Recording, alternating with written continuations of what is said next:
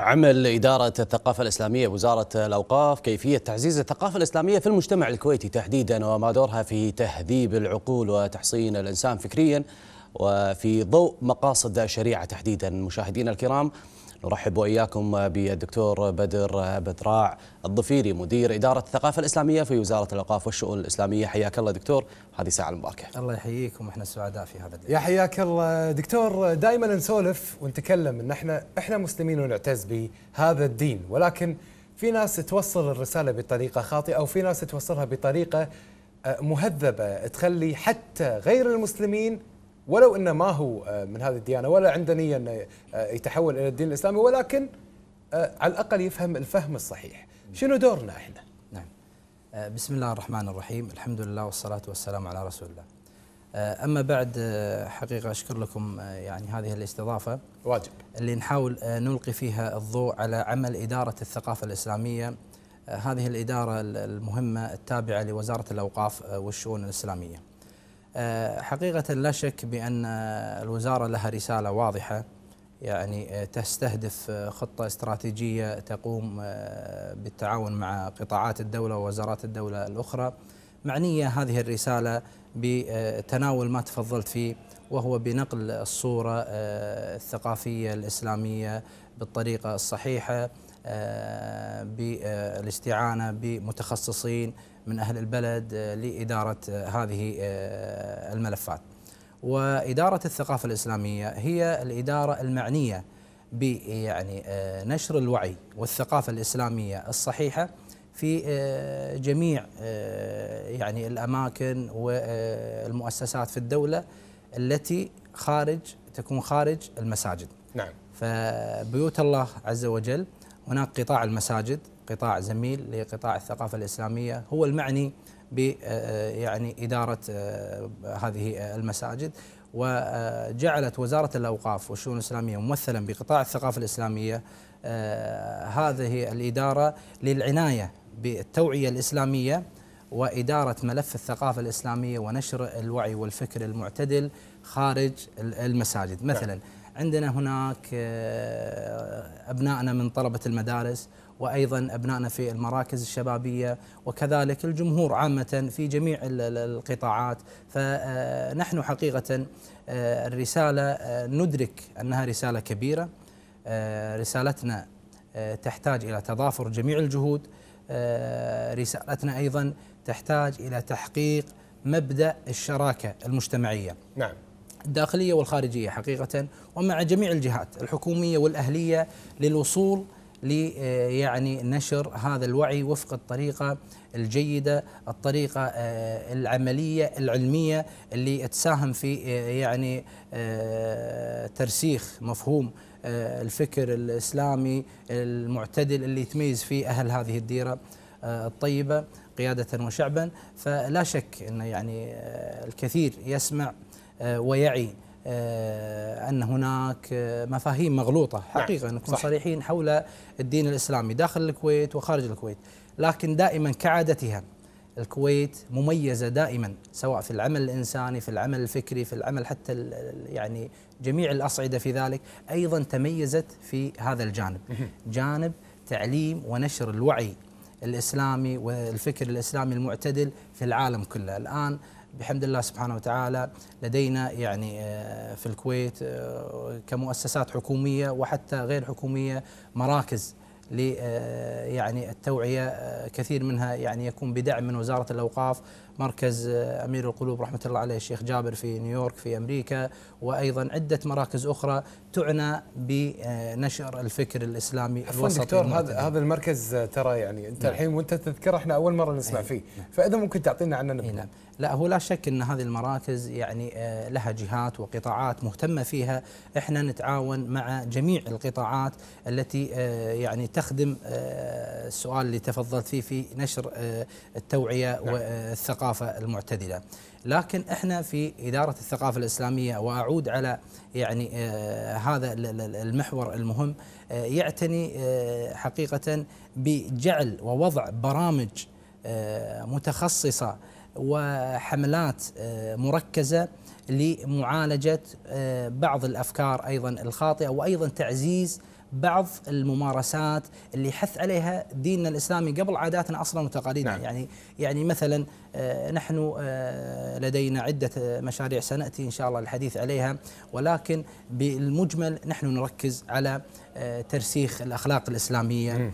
وأيضا آه، نركز على نشر آه، الوعي في أهمية آه، يعني التواصل الصحيح مع الآخر. آه، سواء آه، يعني التواصل الأسري الصحيح وأيضا آه، يعني كبر الوالدين والعناية بالأبناء وأيضا مع ال- الجيران جميع المفاهيم التي آه، حث عليها آه، القرآن الكريم ورسولنا صلى الله عليه وسلم آه، سيد الأخلاق.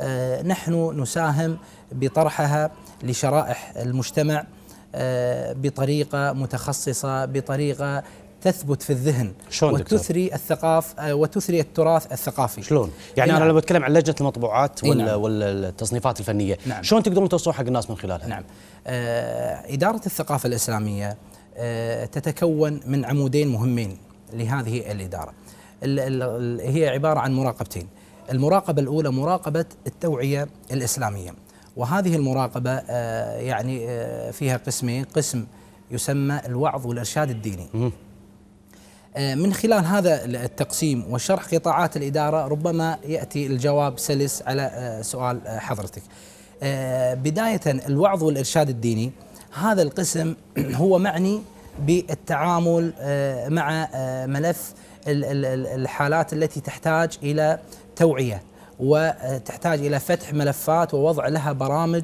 آه، تخصصية تسهم في حل هذه المشكلات نعم. مثلا آه، القسم هذا يعنى بإخواننا اللي آه، نزلاء المؤسسات الإصلاحية.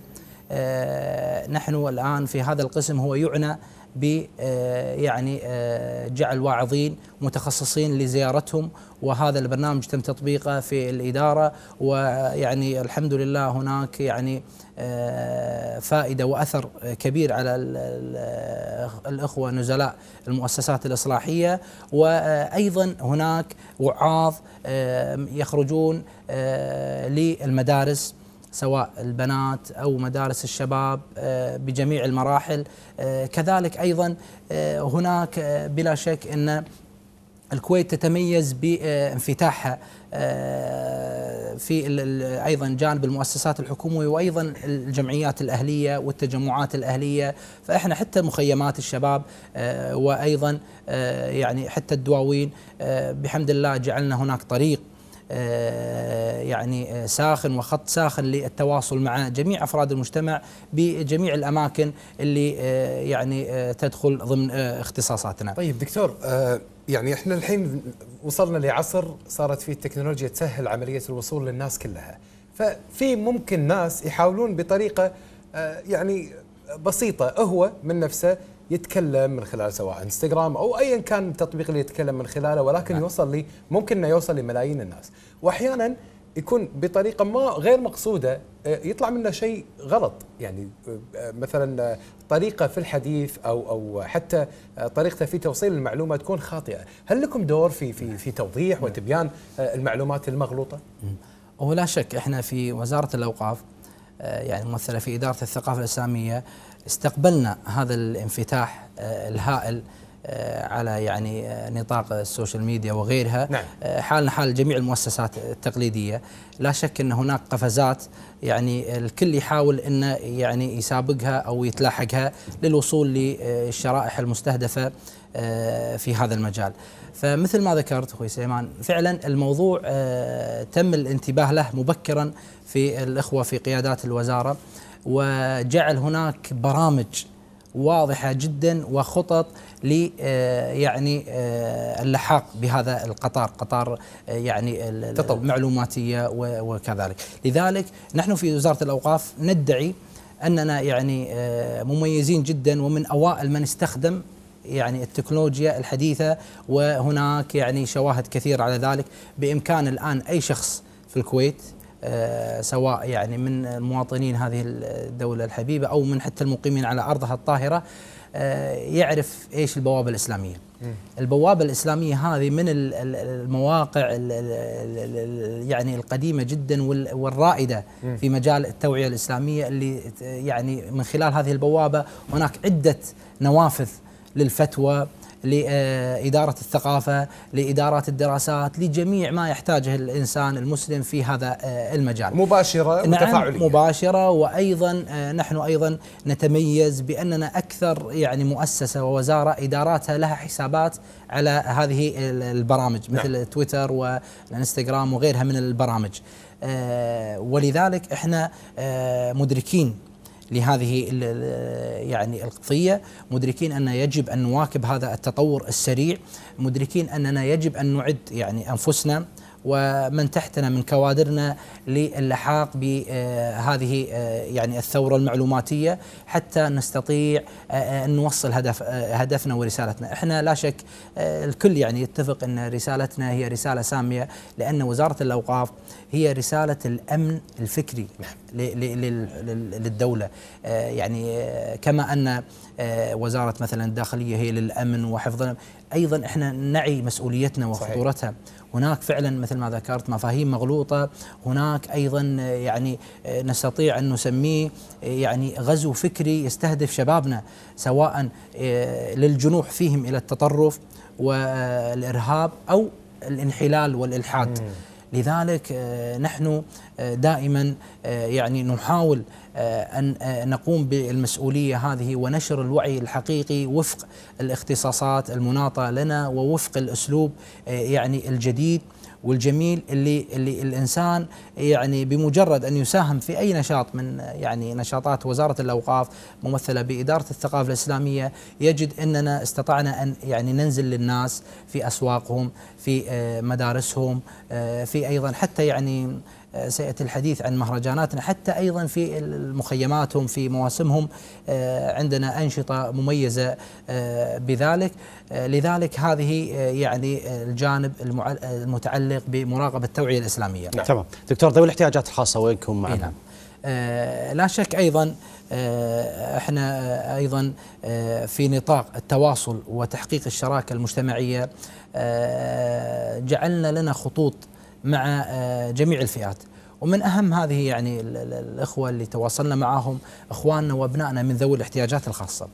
آه، طبعا وزارة الأوقاف غنية أن اتحدث عن مشاريعها السابقة اللي قامت فيها القطاعات شتى في قضية فتح المراكز ويعني تقديم الخدمات آه، الشرعية والتعليمية لفئة ذوي الاحتياجات الخاصة نتكلم عن إدارتنا كونها أيضا في آه، يعني آه، تدير مراقبة المطبوعات والمصنفات الفنية نعم. وهذا يعني المراقبة دورها عظيم وهي تقوم بالدور الأكبر حقيقي اللي يساهم في بناء التراث الفكري والأدبي الثقافي نعم. الإسلامي آه، للدولة لذلك إحنا يعني من باب تحقيق الشراكة كما قلت.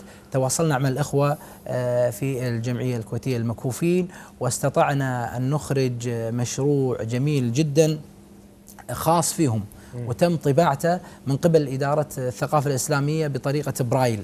أي. وكانت عدة آه، يعني آه، مصنفات ومؤلفات حازت على يعني إعجاب جميع المهتمين في الإخوة المكفوفين والآن إحنا إن شاء الله تم توريدها أيضا آه، توزيع جزء منها وتم توريد كمية أخرى. الآن إحنا في طور توزيعها على نحاول أن آه، نستوفي جميع الأخوة المكفوفين اللي يحتاجونها. كذلك أيضا هناك عدة مشاريع الآن تقوم بها إدارة الثقافة الإسلامية. دكتور من أهم المشاريع اللي ودنا نسولف عنها هو مشروع مجالس الخير ولكن بعد فاصل قصير. دكتور بدر من وزارة الأوقاف وحديثنا عن تكريس الثقافة الإسلامية في المجتمع. آه، قبل آه، نطلع في هذا الفاصل كنا نتكلم عن مجالس آه، الخير من مشاريع الإدارة المميزة اللي تركت فعلا بصمة واضحة في المجتمع. لو نتكلم عن هذا المشروع. نعم. مجالس الخير هو حقيقة مشروع قيمي واعي استعنا فيه بخبراتنا الأكاديمية والمشايخ والعلماء. اللي العاملين أصلا في وزارة الأوقاف والشؤون الإسلامية. آه، هذا المشروع آه، هو موجه إلى آه، أبنائنا في المدارس. نعم. والآن إحنا دشنا هذه النسخة لهذا العام وستنطلق إن شاء الله في بداية الشهر القادم بعد فترة الأعياد الأيام الوطنية. فهذا المشروع هو موجه لهذه الشريحة بحيث أننا نجعل لنا خطة عمل نستهدف من خلال هذه الخطة بعض المواضيع الحساسة اللي فعلا ظهرت وانتشرت في الآونة الأخيرة بين أوساط عيالنا وأبنائنا. لذلك إحنا عندنا عدة مواضيع من خلال هذه المجالس الخير. هي عبارة عن محاضرات مركزة يكون فيها تفاعل بين المحاضر وبين الطلبة يتم خلالها يعني تسليط الضوء على آه، يعني قضايا مهمة مثل ما قلنا.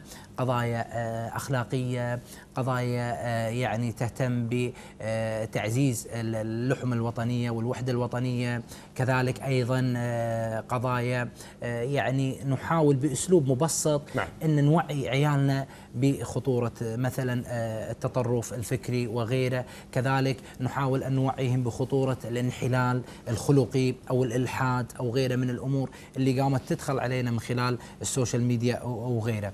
لذلك هذا مشروع الخير مجالس الخير هو حقيقة مشروع رائد. آه، نتعاون فيه مع إخواننا في وزارة آه، التربية والتعليم العالي وإحنا من هذا الموطن نوجه لهم يعني الشكر الجزيل. حقيقة آه، يعني هذا التعاون وجد صدى جميل عند أولياء أمور الطلبة وعند المهتمين في التعليم. أي نعم. اذا دكتور لكم تعاون مع الجامعات. ما نعم. هو بس وزارة التربية؟ نعم ولا شك إحنا يعني نمد الايدي التعاون لجميع المؤسسات آه، الرسمية في البلد ومن ضمنها أيضا آه، الجامعات. ونحن أيضا يعني آه، لدينا في الخطة إن شاء الله من بدءا من 1 4 2018 أيضا خطتنا ستكون وسيعني تظهر عيانا للمجتمع الكويتي بجميع مؤسساته لدينا إن شاء الله بإذن الله آه، رؤية واضحة أبرز ملامحها دكتور نعم. شنو راح تكون؟ لا شك إنه آه، ستكون يعني آه، الملمح الأول لهذه الرؤية أنه سيكون بصورة جديدة وحديثة سننزل يعني بقوة إلى يعني آه، وسائل التواصل الحديثة. أيضا سنحاول أن يعني نستعين بكوادرنا الشبابية الوجوه الجديدة. نعم. يعني يكون مثلا يعني سترون في تغير نقلة نوعية في الطرح التقليدي سنحاول أن يعني نبرز مبادئنا وأفكارنا ونعالج القضايا الفكرية اللي الآن يلمسها الجميع سواء نعم. أولياء الأمور أو غيرهم من المهتمين بالتربية يلمس أمور وظواهر يعني سلبية وخطيرة في المجتمع، إحنا سنحاول أن نعالجها ب يعني خطط جديدة وبرامج مركزة وباذن الله ستكون عدة أقسام منها يعني على سبيل يعني المثال فقط. عندنا مهرجان اللي هو مهرجان الربيع الثقافي. م. هذا مهرجان آه، يتم الآن التحضير له. آه، سيحدث نقلة نوعية في آه، يعني إدارة الثقافة الإسلامية.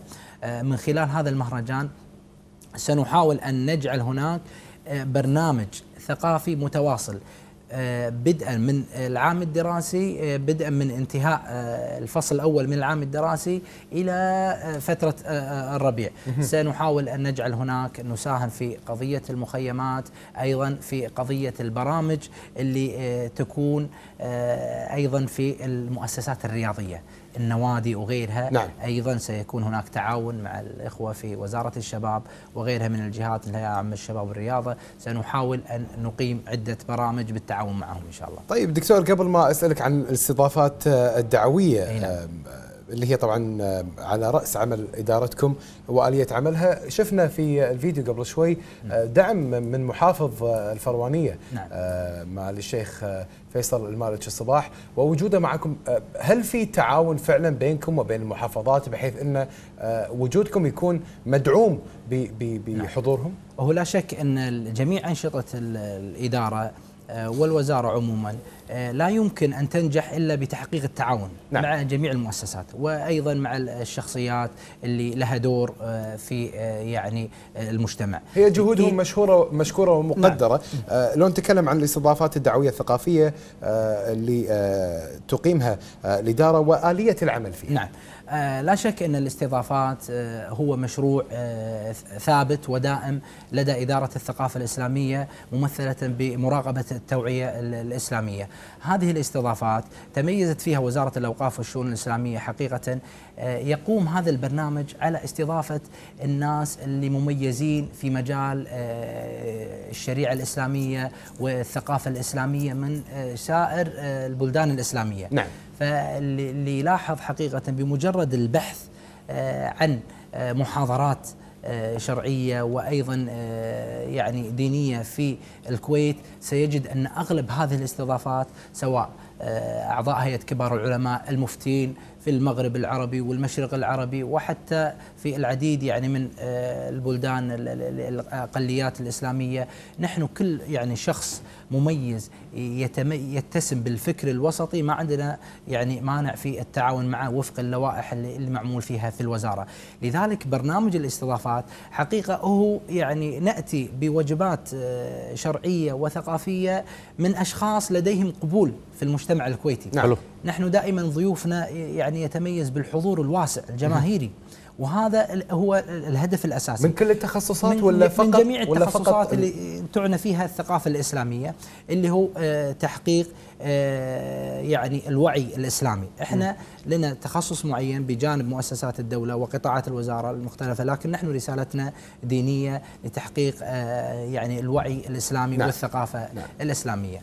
دكتور يمكن السؤال الآن واللي يطرح نفسه هل لكم متابعة أو هو مجرد أداء أمانة يعني الكتب الموجودة في الجامعات والمعاهد وزارة التربية وغيرها. هل لكم متابعة عن عدد والله المطلعين عليها عدد قراءها نعم. ولا مجرد توصيل أمانة فقط؟ نعم. آه، حقيقة هذا السؤال يسوقنا إلى الحديث عن آه، مراقبة المطبوعات والمصنفات الفنية وتحديدا إلى لجنة مراجعة ال- المطبوعات. حلو. آه، إدارة الثقافة الإسلامية منذ أنشئت لديها لجنة المراجعة. هذه اللجنة مهمة جدا. للكويت عموما لجميع المؤسسات. آه، يعني هذه اللجنة أي كتاب آه، يريد أن يطبع أو يدخل الكويت سواء في معرض أو غيره يجب أن يمر على هذه ال- ال- اللجنة. أقصد الكتاب اللي متخصص في آه، الدين.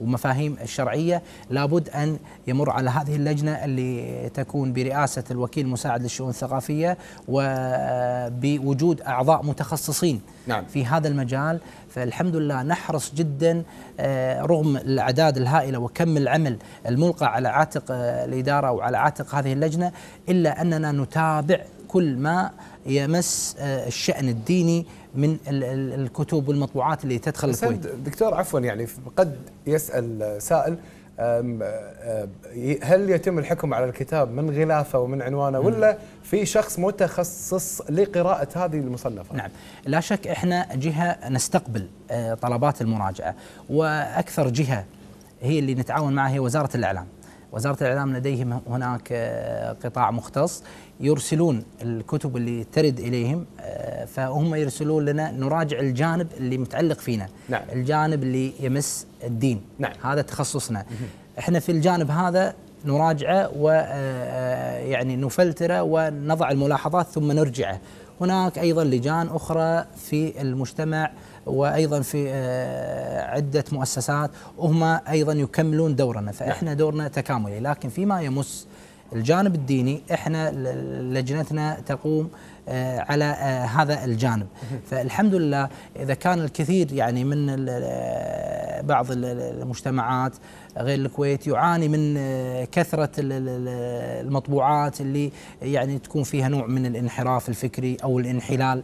آه، إحنا الحمد لله لن تجد في يعني معارضنا آه، مثل هذه المؤلفات. هناك لا شك في مساحة للاختلاف ومساحة لل يعني للتجاذب. إي نعم, نعم. للنقاش. لكن الحمد لله يمكن أن يكون هناك شيء يمس الثوابت الدينية أو آه، يعني يمس الثوابت الوطنية لا شك خط عندنا. إي نعم لا شك إن هذا خط. أحمر لدينا ويعني لا شك إن ال- الجميع يسعى لهذا الأمر وهذا ليس. من باب يعني آه، كما يقال التشدد في الموضوع أو التضييق لا بالعكس أنت تناول فكرة معينة واطرحها بشكل اللي تراه نعم. لكن إذا يعني في ال- الأمور الثوابت هذه الكل يجمع عليها وضحت نعم. دكتور بعد الفاصل راح نسألك عن استعداد استعداداتكم للأعياد الوطنية. عسى ربي يديم الأعياد على هالبلد ومن فيها لكن بعد الفاصل. عودة لكم مشاهدينا الكرام مستمرين بالحديث مع ضيفنا من داخل الاستديو الدكتور بدر بدراع الضفيري مدير إدارة الثقافة الإسلامية في وزارة الأوقاف والشؤون الإسلامية. دكتور قبل الفاصل كنا نسألكم عن استعداداتكم للأعياد الوطنية والاحتفالات الوطنية اللي تمر فيها دولتنا الحبيبة دولة الكويت. شنو استعداداتكم؟ نعم.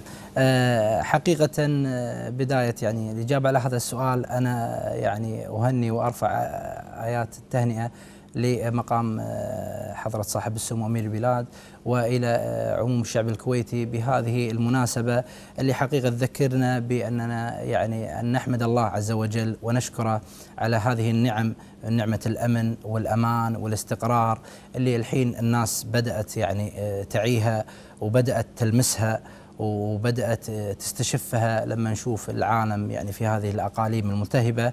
نسأل الله سبحانه وتعالى آه، أن يعني يرفع البلاء عن المسلمين. لكن الحمد لله تجد أن الكويت الآن هي المأوى اللي يلتجئ له كل يعني آه، محتاج وكل خائف. آه، وهذا يعني يعطي الكل دلالة واضحة كيف أخذت الكويت آه، أنها تكون مركز إنساني مميز بقيادة حضرة صاحب السمو أمير الإنسانية. آه، لذلك الآن آه، يحق لكل كويتي ومقيم على هذه الأرض أن يفخر ويفرح بهذه المناسبات الوطنية اللي من الواجب حقيقة أن نذكر أبنائنا فيها وهذا مبدأ يعني حتى إنساني ومبدأ ديني نعم. لأن حب الأوطان هو من الإيمان حقيقة ومن الوفاء آه، لذلك نحن في إدارة الثقافة الإسلامية وحرصا على تعزيز هذه المبادئ آه، لنا كل سنة من يعني آه، ما يقارب العقد من الزمن من عشر سنوات. آه، في هذه الأيام نحرص حرص شديد أن نضع لنا بصمة آه، في هذه الاحتفالات الوطنية. لذلك أيضا البارح فقط أمس بدأ عندنا مهرجان فرحة بنسخته الثامنة المهرجان الوطني فرحة بالنسخة الثامنة. وحقيقة الكل الآن يعني يتحدث عن هذا المهرجان لأن حقيقة هو مزيج من آه، الإبداع والتركيز والعرض الجديد والمتنوع للفقرات يستهدف أحباب آه، أحبابنا وأكبادنا من آه، الشباب والأبناء. آه، لذلك آه، هذا المهرجان الوطني سيمتد إلى آه، مدة أسبوع. سيكون في عدة محافظات. بدأ أمس في السالمية وإن شاء الله اليوم سيكون حط الرحال في مجمع ديسكفري وهنا في العاصمة محافظة العاصمة. وهذا المهرجان حرصنا فيه أيضا على أن يكون يعني فيه نخب ونجوم أيضا لهم حضور جماهيري واسع نعم. آه الآن تعرفون أن هناك آه، يعني آه قنوات آه إسلامية وتحرص على آه يعني الكفاءات آه، الشبابية لذلك إحنا شفنا وين الفرقة من النجوم اللي مميزين اللي عندها قبول للأطفال وللشباب فأتينا بهم آه، في الكويت. لذلك إحنا الآن مثل ما ظهر بالتقرير مثل هذه الفعاليات آه، على رأسها مهرجان فرحة الذي تقيمه يقيمه الأخوة في المراقبة مراقبة التوعية الإسلامية في نعم. الإدارة. آه، لذلك إحنا حرصنا أن ننوع هالمكان ونظرا للطلبات الكثيرة آه، جعلناه في عدة آه، محافظات. اليوم مثل ما قلنا في محافظة العاصمة غدا في محافظة الأحمدي في حديقة الرقة العامة إن شاء الله. وأيضا هناك مفاجآت وجوائز مرصودة لكل المشاركين. ومن هنا ادعي أدعو الجميع للحضور والمساهمة في هذا العرس الوطني. وأيضا سيكون الختام في قرية آه، صاحب السمو قرية الشيخ صباح الأحمد للتراث الشعبي نعم. في السالمي في محافظة الجهرة. فسيكون هناك آخر يومين إن شاء الله هناك. تعرفون سيكون في الهواء الطلق وإحنا يعني آه، جعلنا آه، يعني استعدادات مهمة. ونشكر الأخوة أيضا في إدارة القرية العالمية. هناك حقيقة مفاجآت. لا نستطيع أن نعلن عنها لكن نود آه ما إيه نعم نود أن الأخوة يحضرون معنا معانا حتى يشوفوا ويشاركوا يعني بأنفسهم في آه، هذا آه، المهرجان وأنا أقول آه، حقيقة دائما الإنسان يحاول في هذه الأعراس الوطنية يساهم في خلق البسمة نعم. خلق الفرحة يعني أن يحاول من هذه يعني الأعراس الوطنية أن يغرس في أبنائه سواء إذا كان هو يعمل في مؤسسة آه، مثلنا في وزارة الأوقاف أو حتى في البيت. حاول هذه الفرص. أنت تش مثل الانسان يشتكي من أن هناك مفاهيم مغلوطة وكذا. من خلال هذه الأيام والأعراس الوطنية تستطيع أن تغرس حب الوطن آه، تعزز الانتماء نعم. للوطن لهذه التراب آه، الطاهرة. آه، أيضا آه، تحاول أن آه، تبين لهذه الأجيال التاريخ اللي انبنت فيه هذه ال- ال- ال- الديرة العظيمة الكبيرة هذا ال- الوطن اللي الآن حقيقة آه، لا ينكر دوره ولا يجحد أثره أي عاقل في العالم أجمع نعم. الحمد لله الكويت الآن في مصاف الدول المتقدمة ليس بال يعني بالإعلامها أو مثلا باموالها لا في إنسانيتها نعم. الإنسان هو يعني أهم شيء لدى يعني الدول تركز عليه الدول المتحضرة المتقدمة، لذلك الحمد لله استطاعت الكويت أن تتبوأ دورا عظيما من خلال جميع مؤسساتها، وإحنا في وزارة الأوقاف ممثلة في إدارة الثقافة الإسلامية آه، مدركين لهذا الجانب. ونحاول أن نبرز هذا ال- ال- الجانب وهذه المفاهيم الوطنية الراقية ال- الإنسانية ونعززها في أجيالنا. إحنا حقيقة المهرجان متواصل لأربع أيام قادمة وأيضا أكرر الدعوة للجمهور للحضور والمشاركة في فعاليات التي تقيمها إدارة الثقافة الإسلامية.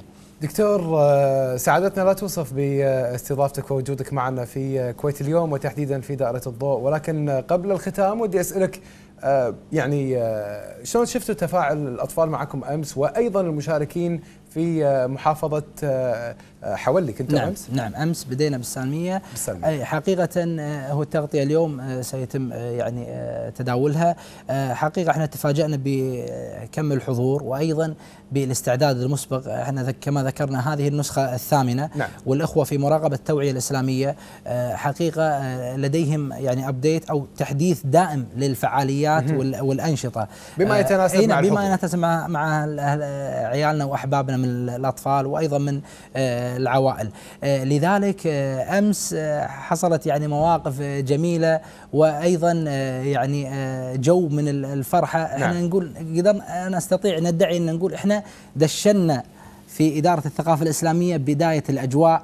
والأعراس الوطنية أي. هذا نحن نفتخر بهذا بهالموضوع إن نستطيع أن ندعي أننا دشنا الأعراس الوطنية الآن بعد طبعا رفع العلم استطعنا أن آه، يعني نزاحم آه، المؤسسات اللي تتسابق في خدمة الكويت وفي المساهمة في الأعراس الوطنية فالحمد لله أمس في بداية انطلاق مهرجان فرحة الثامن المهرجان الوطني فرحة آه، استطعنا أن نلمس هذه الفرحة دكتور، تدري شنو؟ وتوشح الجميع بأعلام الكويت أي. وتزينوا بصور صاحب السمو؟ الحلو ان ان إن عادة الاحتفالات سواء كانت الوطنية أو غيرها آه، حتى في الأعياد. دائما يقول لك انه شلون يعني وزارة الأوقاف بتسوي احتفالات؟ لا ما هي حب الوطن وغرس آه، الدين. ما هم اثنيناتهم يصبون في مصلحة واحدة. نعم. فجميل عملكم مقدر.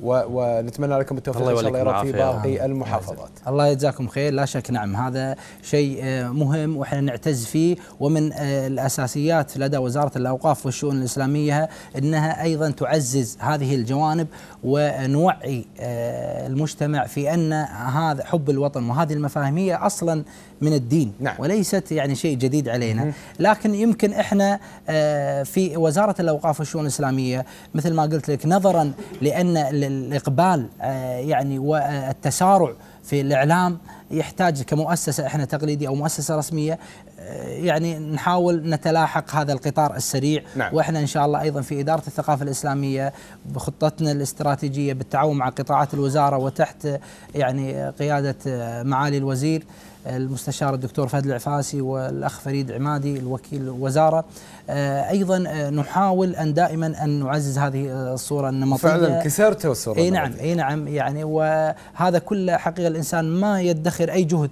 في خدمة آه، هذه ال- ال- الديرة كل.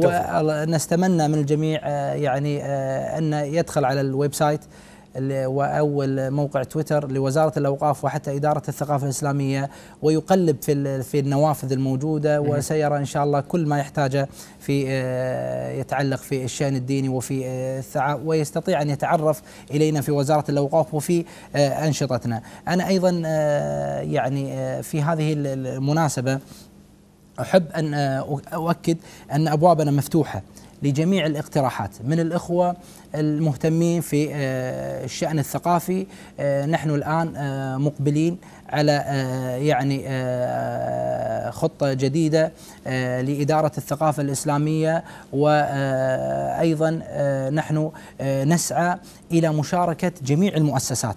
نحن نوجه دعوة لجميع المؤسسات المهتمة نعم. بالفكر والثقافة والأدب وبناء التراث الفكري الوطني. وهذا أحد دعائم تركيزنا أن نحاول أن نركز على العنصر الوطني في إدارة الثقافة.